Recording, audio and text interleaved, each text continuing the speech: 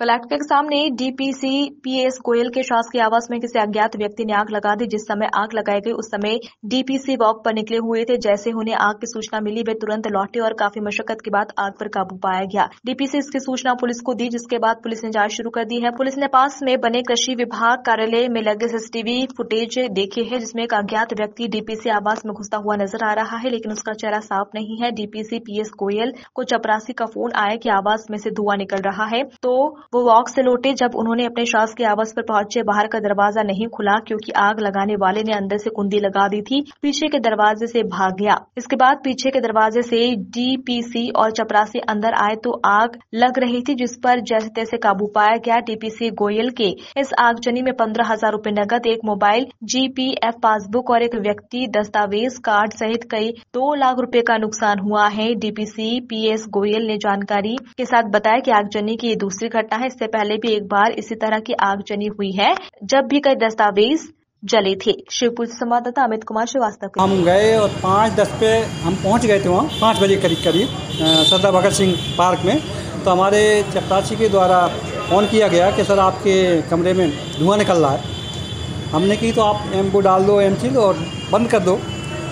और उसके बाद हम आए तो लगभग लगभग साढ़े पाँच बजे। साढ़े पाँच बजे आ गए थे, तब तक हमने देखा कि आग का भयंकर धुआँ निकल रहा है। तो फिर हम पीछे होके गए, एक गेट और दूसरा है तो उसमें देखा, बाहर का जो गेट था मेन गेट मेन गेट पे उसने क्या किया था कि लॉक तोड़ के अंदर से कुंडी लगा दी थी।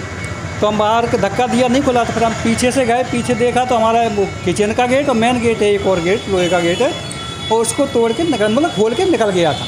फिर हमने देखा हमारी आग लग रही है तो हमने फिर बुझाने का प्रयास किया और बुझाने में सफलता भी मिल गई।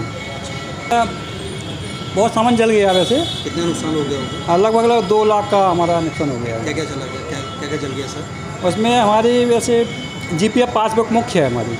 जीपीएफ पासबुक जो शासकीय कर्मचारी की मुख्य धरोहर होती है वो चली गई और सेवा पुस्तिका की द्वितीय प्रति होती है वो चली गई। मतलब वो जल गई है।